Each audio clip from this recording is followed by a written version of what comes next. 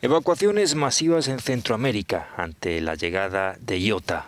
Países que, como Honduras, Nicaragua o Guatemala, aún se tambalean debido a los estragos causados por el huracán y luego tormenta tropical ETA, están en la trayectoria del que ya es el decimotercer huracán de la temporada del Atlántico.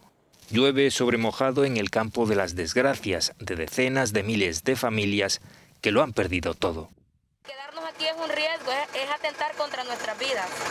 Sí.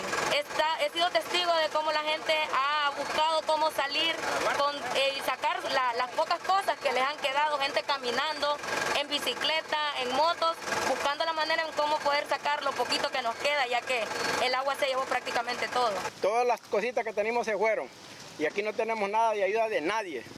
Si Utah mantiene el rumbo y la velocidad, llegará este lunes por la noche a Honduras y Nicaragua, prácticamente en el mismo punto en el que tocó tierra el huracán ETA, que provocó numerosas inundaciones y corrimientos de tierra, dejando una estela de muerte y destrucción desde Panamá hasta el sur de México. Tras realizar una gira por los países vecinos, el presidente de Honduras anunció el viernes que solicitarán apoyo al Banco Centroamericano de Integración Económica para afrontar las enormes pérdidas económicas causadas por la tormenta.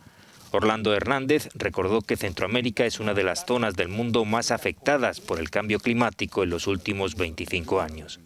Mientras tanto, los expertos advierten de que Iota, que tiene vientos sostenidos de más de 120 kilómetros por hora, podría fortalecerse aún más antes de tocar tierra.